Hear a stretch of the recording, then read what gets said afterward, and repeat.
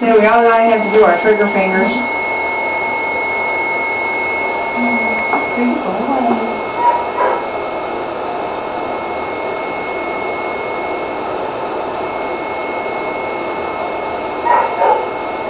By the time we get all done, we're gonna have to have a special laser table. That'd be awesome, one that raises and lowers to the right height.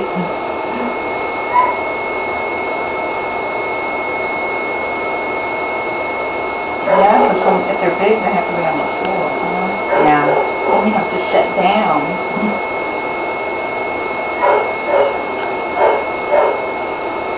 Either that or stoop over the top of one, but oh. by that time, then you can't stand up when you're all done. At least I can't.